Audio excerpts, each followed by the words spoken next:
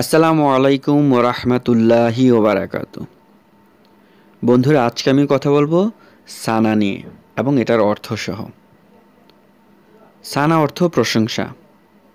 তাকবিরে তাহরিমার পরে সুরা কেরাত আরম্ভ করবার পূর্বে এই তাজবি পড়তে হয়।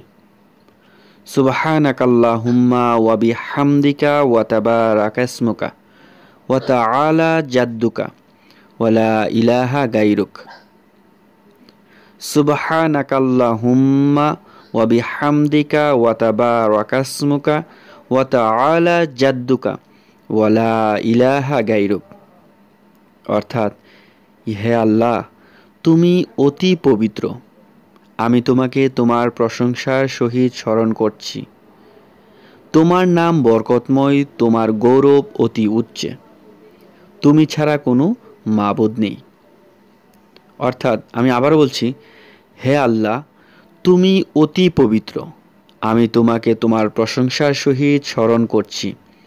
তোমার নাম বরকতময়। তোমার গৌরব অতি উচ্চে। তুমি ছাড়া আর কোনো মাবুদ নেই।